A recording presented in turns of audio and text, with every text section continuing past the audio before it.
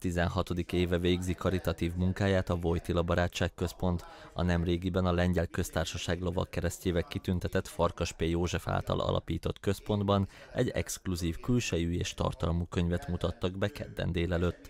A Kecskeméti Karol Vojtila Barátságközpont története címet viselő kötet a Barátságközpont elmúlt 15 évéről szól. Az esemény Szeberényi Gyula Tamás alpolgármester köszöntőjével indult. Az alpolgármester elmondta, az önkormányzat nem tud minden feladatot olyan odaadással ellátni, ahogy a civil szervezetek, ezért is nagy szükség van rájuk. A Vojtila házról szóló kötet nem egy mindennapi krónika, ha kezünkbe vesszük a 15 év történetét feldolgozó, külsejében is exkluzív könyvet, láthatjuk, hogy emlékezéseken, megélt pillanatokon, egyéni történeteken keresztül mesél az elmúlt évek történéseiről.